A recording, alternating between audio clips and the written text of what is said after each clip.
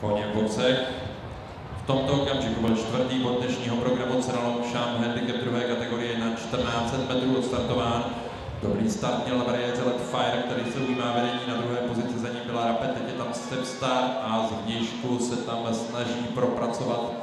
z té vlny na vnější straně také Darien, či spíše ze středu startovních boxů, nicméně v tom rychlém úvodu je tam vpředu také Trinis, který se tam posunul, byl schován pohledu z cíle, nicméně teď je evidentní, že Trinis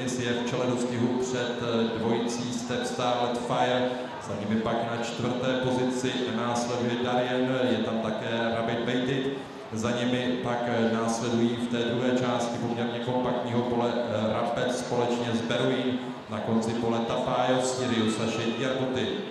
Koně budou točit do cílové roviny. Do závěrečné šestistovky na špici dostihu Trenis, vedle něj pak Stepstar u bariéry Let Fire, za ním Rapid, Měškem dvojice Iraklin Waited, úplně více zvenku je tam Šengerbuty se Sieriem, posledních 300 metrů do cíle, teď se Iraklin dostal na špici dostihu, útočí na něj z Měšku Šengerbuty, u bariéry dvojice Rapid Let Fire, za ním ještě Rapid Waited, je to stále hodně vyrovnané, posledních 100 metrů do cíle,